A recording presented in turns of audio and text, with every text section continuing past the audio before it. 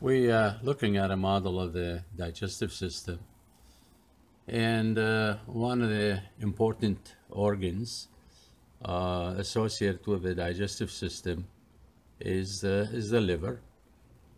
So uh, we see uh, uh, the model of the liver here. And uh, we notice that the liver is divided into lobes. And uh, there are uh, two major lobes, the left lobe and the right lobe. And uh, there are uh, two minor lobes uh, shown in here and also in here. The liver is an important organ because it does have many functions. One of those functions is, is obvious on the model because we see the gallbladder and the gallbladder stores the bile. So one function for the liver is to make the bile.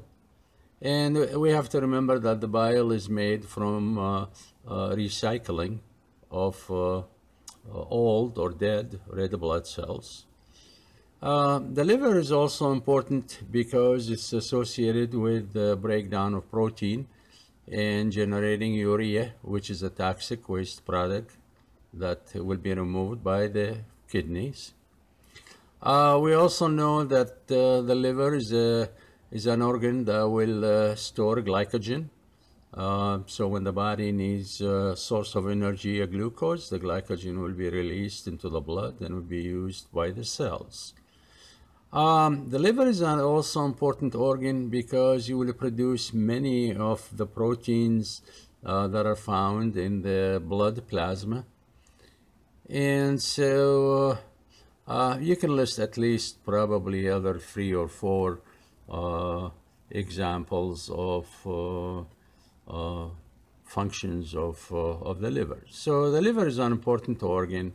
And for that reason, we have to learn a little bit about uh, the microscopic anatomy of, uh, of the liver.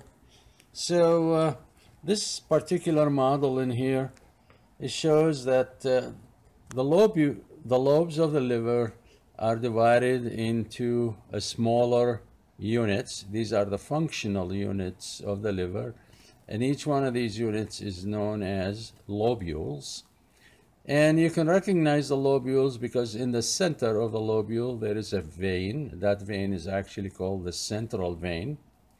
And um, so if we take a look at one of these lobules, uh, we, uh, we can see that uh, uh the liver cells in the, in the lobules are organized around areas that are filled with the blood. These areas are known as the liver sinusoids.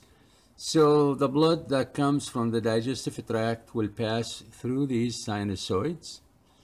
And uh, these are the liver cells or the hepatocytes. So they will pick up the nutrients from the blood coming from the digestive system.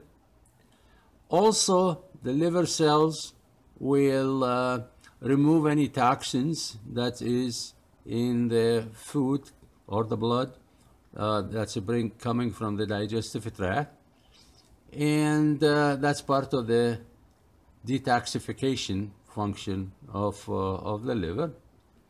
We, we also notice if we, if we look at the model carefully that uh, Lining these sinusoids are special cells. That's one of them in there. That's known as the liver macrophages. There's another one in this area here. And uh, these are white blood cells. And uh, they are important in removing pathogens and uh, removing uh, dead cells. The model here also shows small green lines these are known as bile canaliculi. Uh, that's where the bile will start from the liver cells and then it will travel from there to a bile duct. So this section in here is actually a bile duct and uh, that will take the bile to uh, uh the gallbladder. So that's some of the anatomy and functions of uh, the liver.